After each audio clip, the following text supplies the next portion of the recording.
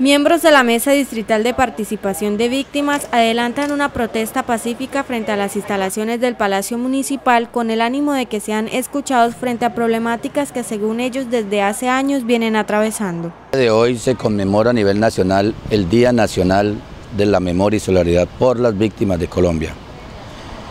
Eh, estamos aquí, la Mesa Distrital, que es un espacio de interlocución entre los entes territoriales y las víctimas de Barranca Bermeja. Barranca Bermeja tiene casi 60 mil víctimas que no hemos sido escuchados ni por la anterior administración ni por esta.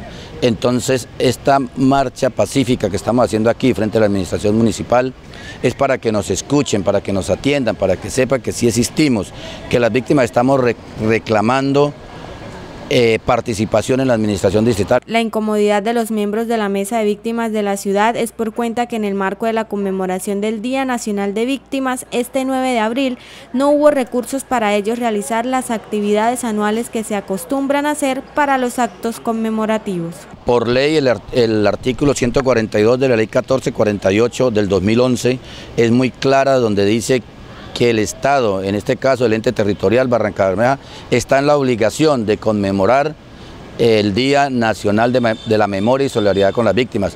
En este caso, no hubo apoyo por parte de la Administración Distrital para esta conmemoración, conmemoración que exalta nuestros, nuestro sufrimiento, nuestra resiliencia, nuestros derechos. Entonces por eso estamos hoy aquí y se convocaron las víctimas aquí a la Administración Distrital hacerle un plantón pacífico. Por eso hacen el llamado a las autoridades competentes para que sean escuchados y reciban la reparación que según ellos por años han esperado. Lo que le hago el llamado a la Administración Distrital de Víctimas es que recordemos que las mesas distritales de víctimas es de la ley 1448 donde somos como el enlace de la administración con las víctimas de, de Barranca Bermeja.